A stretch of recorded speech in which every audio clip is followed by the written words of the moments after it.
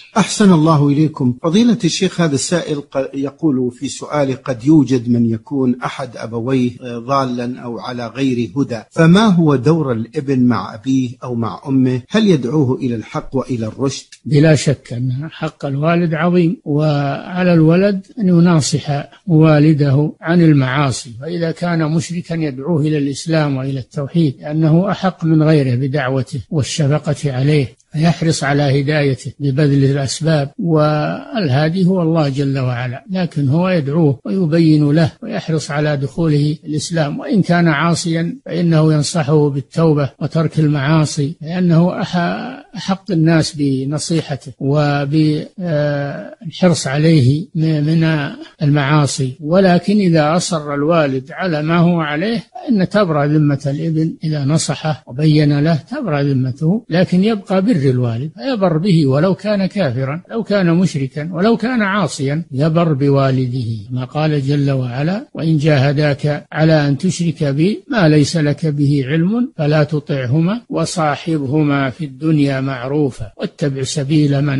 أناب إلي. نعم.